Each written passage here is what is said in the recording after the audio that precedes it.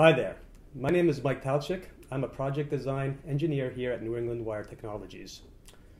One aspect of determining cable design is figuring out what type of conductor plating to use. This video FAQ will discuss some basic characteristics of the three most common platings tin, silver, and nickel. We'll also throw in bare copper as a comparison. So, looking at our chart, the first characteristic is maximum operating temperature. Most standard cable applications can get away with the lower temp ratings of bare and tin copper.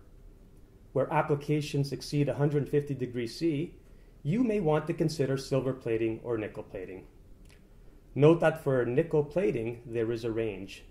Nickel plated copper comes in different plating thicknesses. The thicker the plating, the higher the temperature rating. Our second characteristic is electrical conductivity. The percentages are based on IACS or International Annealed Copper Standard. Where absolute lowest resistance is a key factor, consider silver plating or bare copper. Both tin and nickel elements have lower conductivity, so when it's plated over copper, the overall conductor conductivity is lower. Note that nickel plated copper with a higher nickel plating thickness will have lower conductivity.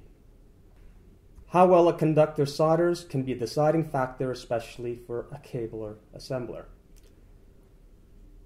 Bare copper oxidizes over time, which can affect soldering.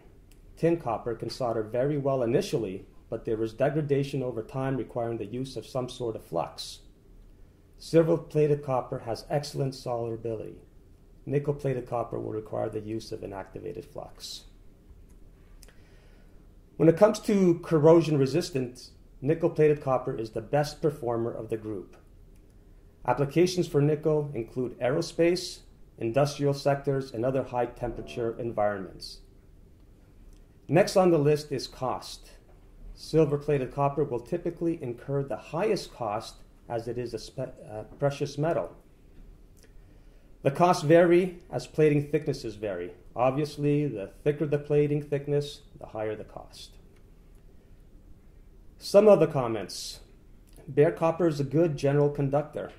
Tin copper has some advantages over bare in that you can get gains in longer shelf life. Silver plated copper is often used in high frequency applications where skin depth may be an issue. Nickel plated copper tends to be a hard material, so mechanical termination should be checked periodically. This concludes our review of standard plating types and their pros and cons. Hopefully, this information can help you in making the right choice for your specific applications. Of course, if you have any other questions on this subject, please contact us here at New England Wire Technologies.